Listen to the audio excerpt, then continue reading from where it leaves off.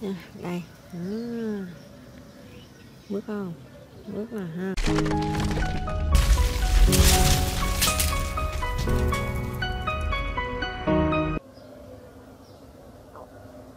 cô thừa mến chào các bạn. Hôm nay cô thừa ra vườn hái một ít cà pháo và cà tím. Và chủ yếu hôm nay là cô thừa chia sẻ đến các bạn cách thu hoạch cà tím vừa ăn không già cũng không non. Rồi mời các bạn cùng cô thừa đi hái cà nhé. Các bạn ơi, giờ đi lại hướng này này đó, hướng đường tay cô thừa này nè. Đó, ở trong cái lùm đó, nó sẽ có hai cái cây cà tím nó có trái rồi. Bây giờ qua bên đó hái hen. Nào, đây. Này bưng cái rổ đi.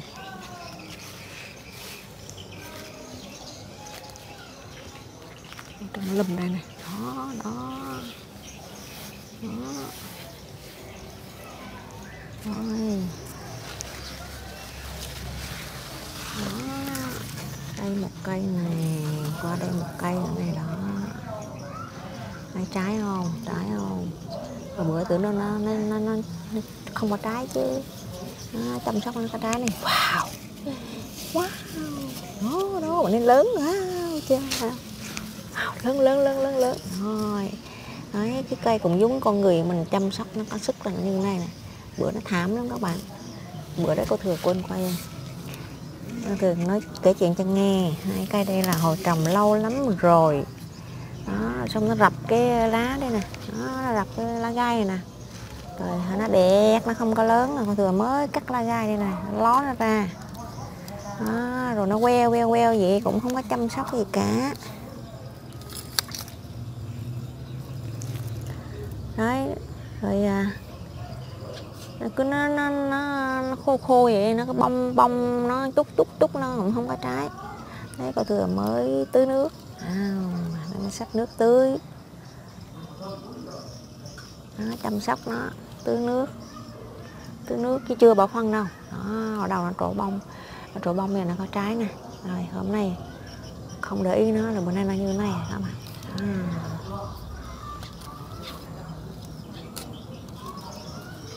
này trái lớn nữa nè đó, đây nữa. Đấy. Cái cây trên này cho ba trái. Đây cây đây cho ba trái nè. Còn cây dưới đây cho hai trái. Trái to với một trái xíu xíu. À, ba trái ba trái. Đây cây đây cho ba trái. Đây. bốn trái luôn. Một. Ai. Một hai. Bốn năm trái luôn. Cả lớn cả nhỏ năm trái luôn. Đây một cây năm trái rồi một cây ba trái. Wow. Ừ, không? Chăm sóc nó nó như thế này nè. Đây, đây dưới cùng này nó mập mỉm luôn nước rượt luôn các bạn. Đây cái này nó không có bị trầy trùa. Bữa kia hai cái trái con hai trái um, đầu mùa luôn á mà nó trầy trùa đấy bữa có làm clip với các bạn. Nó trầy nó trùa nhìn vào ở đây không có bị nè. Mình không hiểu tại sao đây trong đây thì bị bị trầy tụa, hay thì bị trầy nè? Đó, là do nó vướng cái cây đây. Còn bữa hai cây kia nó đâu có vướng gì đâu mà nó trầy. Cái này trầy thì đúng này, đó là do nó vướng cho trong cái đây này đó, nó, cây là nó vướng đấy mình, mà nó trầy thì tất nhiên rồi. Còn hai cái bữa nó đâu có vướng ai đâu mà nó trầy là sao? Anh đây cũng vướng vướng này trầy trầy nè. Đó.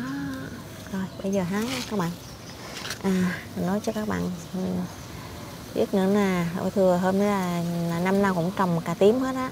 Cho nên mọi người nói là khi mình thu hoạch cà tím á là vừa ăn á là khi ờ, nó mới ra đó, nó còn non là cái đít nó này các bạn. Đó cái đây này nó tím đều hết cả trái luôn nhưng mà khi mà cái này nè đây cái này này mà nó đổi màu qua cái màu màu màu nhạt hơn á. Nó nhạt hơn á ở phần này nhạt hơn đó là bắt đầu mình thu hoạch được ăn vừa. Như cái này này đó nó chuyển màu như vậy nó là được. Với lại nó cái da nó còn bóng. Đó, còn bóng. Đó nó có độ bóng này nè. Đó, là ăn được mấy trái này là thu hoạch được nè. Đó. đó là thu hoạch được rồi nè. Đó. cái này là cũng còn non nè. Cái này nó chưa có trắng lắm.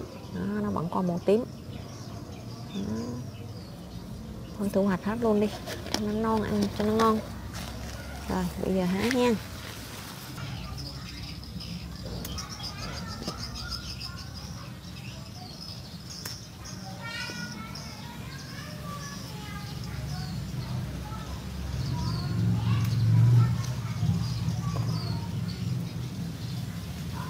Nha, đây. À. bước không? Bước là ha? Nhìn ha ra trái cà này. Hồi bữa, nó bị sọc sọc rằng là ngạch nhìn nó, cái trái nó không có ao cha đất ừ, đó. hơn một gan đó các bạn.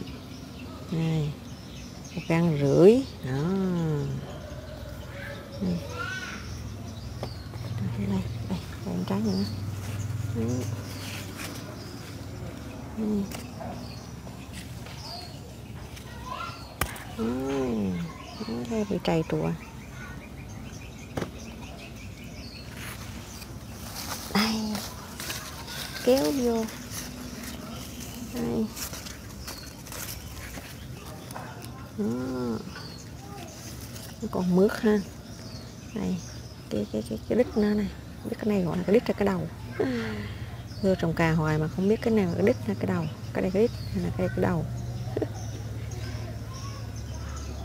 đó nay là vừa, vừa ăn nè mình để nó trắng là nó sẽ già nó trắng nhiều thì già bắt đầu trắng là được các bạn. Nếu để nó trắng nó dài lên tới đây là nó sẽ có hột nó đen. Đó. còn kia một trái nữa.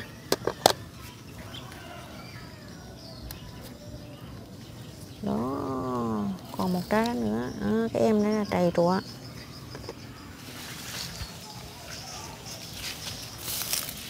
Đây đây Đây, em đây bị trầy trụ hết rồi. Đây do ờ, ở, trong cái chỗ đó mấy cây cỏ ấy, bị gió đung đưa là nó trầy nè. Đó.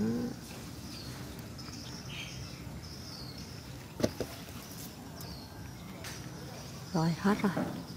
À, hết rồi sạch. Không còn em nào luôn. Đấy bây giờ bắt đầu chăm sóc. Rồi, chăm sóc. Mai thừa 4 phân. À, xới gốc 4 phân vô là nó sẽ có một đợt trái nữa.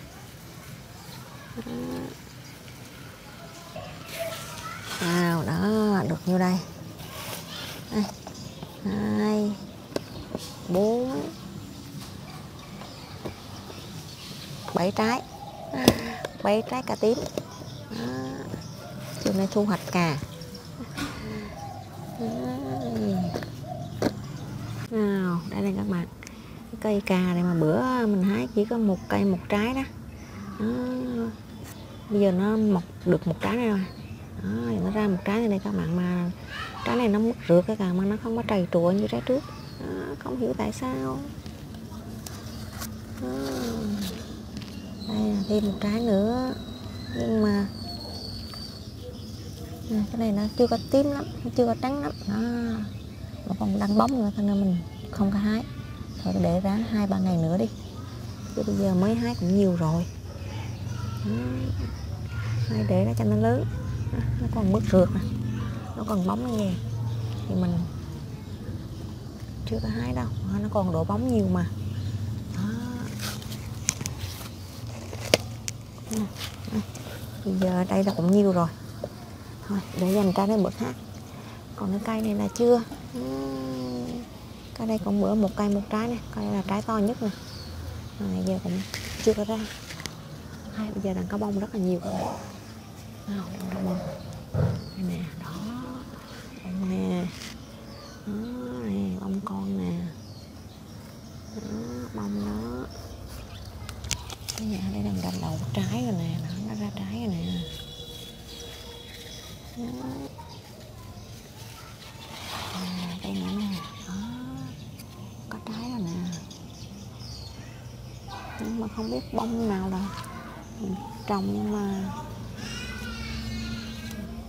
hình như là hoa này là hoa lưỡng tính.